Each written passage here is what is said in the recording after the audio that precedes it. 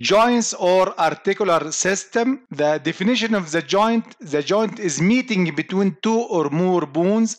Types of the joints are classified into three types according to tissue that lie between the bones.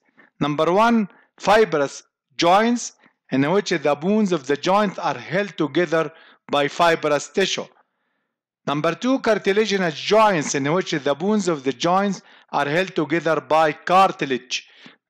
It is subdivided into primary and secondary cartilaginous joints.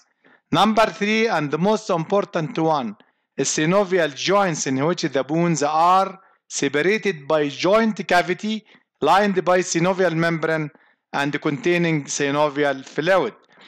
The bones are bound together by fibrous tissue and these type of the joints are almost immobile. Examples, sutures of the skull and the inferior tibiofibular joints. From the fibrous joints we have many types. Number one, suture type as in the skull where the adjacent bones are linked together by a thin layer of connective tissue termed sutural ligaments. Number two, syndesmosis or joints in which the adjacent bones are linked by interosseous membrane. Number three, gomphosis. This type is found between the root of the tooth and the sockets in the mandible or maxilla of the skull. This is different types of fibrous and cartilaginous joints. This type, sutures of the skull, this is the sutural type, and this is gomphosis between root of the tooth and the sockets in the mandible. And this is syndesmosis, in which a fibrous tissue between two bones as radius and the ulna. The second type is cartilaginous joints. This is a cartilage between epiphysis and the metaphysis of the long bones, and this is disappear after a certain age.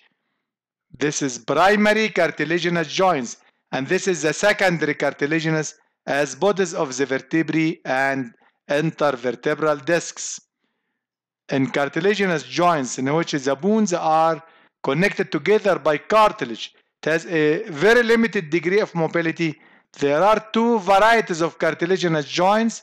Primary cartilaginous, there is hyaline cartilage, with later ossify as epiphyseal cartilage. Examples, epiphyseal cartilage between epiphysis and diaphysis of the long bones. And this type of the joints will disappear in certain age.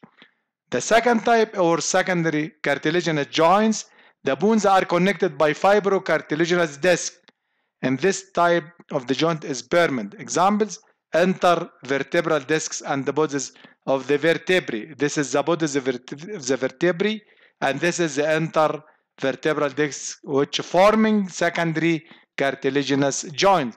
Then the third type of the joints, which is synovial joints. And this type of the joints, the bones are covered by hyaline cartilage, and the bones are separated from each other by synovial space. The joint is surrounded by fibrous capsule, and synovial membrane lines the fibrous capsule from inside and all intracapsular structures except the articular surfaces. The synovial membrane secretes synovial fluid which fill the joint cavity and has important lubricant, nutritive and protective functions. This type of the joints are freely mobile and synovial joints are divided according to articular surfaces and degree of mobility into seven types. This is different types of synovial joints. This is ellipsoid joint and the rest. And this is ball and socket joints. This is hinge joints. The types of synovial joints, number one, plane joints, in which the two articular surfaces of the bones moves against each other. The second type is hinge joints, moving around the transverse axis allowing flexion and extension only. Examples as elbow joint. Number three, pivot joints in which one bone moves around vertical axis and allow rotatory movements. Examples superior and inferior radioulnar joints. Number four, ellipsoid joints when the shape of the articular surface is elliptical shape, as in wrist joints. Number five, condyloid. Examples, metacarpophalangeal joints of the fingers. Number six, saddle-shaped joints. Example, carpometacarpal joints of the thumb. Number seven, and most important type is ball and socket joints. Examples in shoulder and hip joints. This is different types of synovial joints. This is hinge type, elbow joints. This is pivot joints as between radius and the ulna. This is ball and socket as shoulder and hip joints. Factors maintain the stability of the joints. Number one, skeletal elements. Shape of the bone, which forming is a joint. Uh, in case of the bone, bones are fitted together, this maintains the stability. Number two, ligamentous elements as ligaments surrounding the joints. This is different ligaments surrounding the knee joint. It has a great role in the stability of the joint. Number three, muscular element as surrounding muscles are the most important factor.